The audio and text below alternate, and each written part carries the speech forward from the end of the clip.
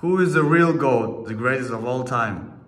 Leo Messi, Michael Jordan, or Albert Einstein? Or maybe the GOAT? No, here's the real GOAT.